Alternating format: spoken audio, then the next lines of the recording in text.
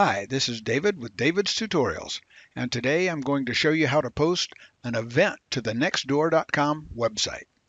First, a bit about the Nextdoor website. This is a local area social networking site, somewhat like Facebook for your local neighborhoods. If you're not currently on Nextdoor, you should consider joining it. Just click the link indicated to join.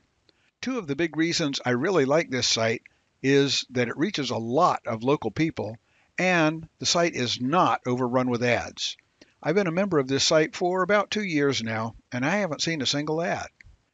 On the Nextdoor site, people post things like notices for a lost dog or curb alerts for items that people are throwing away but are still in good enough shape to be used, or asking who is a good house painter, who is a good roof repairer, or who is a good yard worker. Another thing that can be posted on Nextdoor is a notice of a local event something like a neighborhood block party, an art show, or what I'm going to show you in this video, notice of a concert by a local community band. Many people jump onto Nextdoor to post something without preparing, and while that may work okay, it will be much more effective if you do a little preparation in advance. To post an event on Nextdoor, I would suggest you prepare in advance both a write-up of the event and a graphic flyer. They will be very useful as you enter your event posting. Let's begin where we are already signed up for Nextdoor and logged in to their website.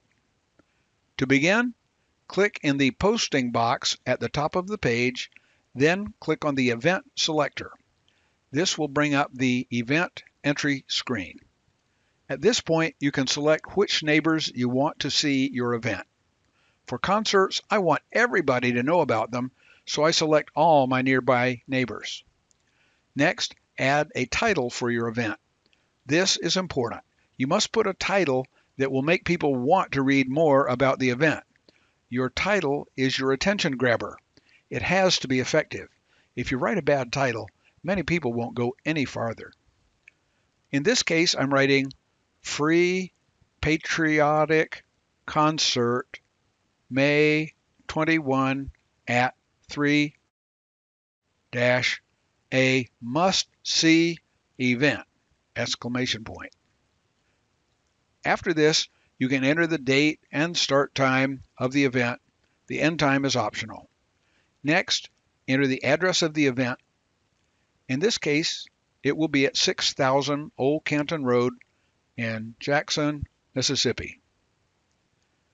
In the field for description, this is where you use your previously opened write-up about the event. Copy it from the source and paste it into this field. Next, we choose a category. In this case, a concert. For your cover photo, this is where you can upload the flyer you got ready in your preparation work. This is what will appear with your event announcement, so make it a good one. For this example, I click on Upload Photo. I navigate to the proper folder, select the flyer in a JPEG file, and upload it. And there it is, appearing correctly.